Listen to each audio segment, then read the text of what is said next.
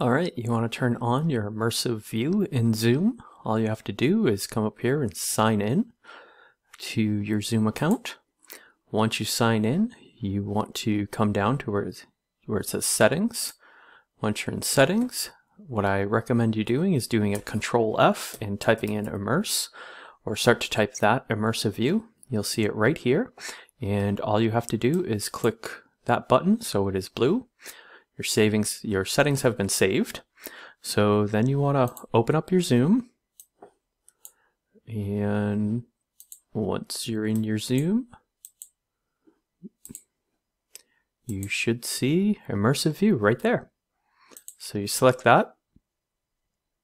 It will take a moment. It will give you several different options to choose from.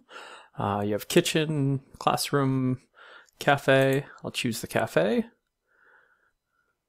And it'll take a moment to start. And then once you do, it's right there in front of you.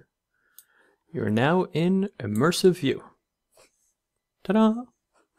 Alright, that's all you gotta do.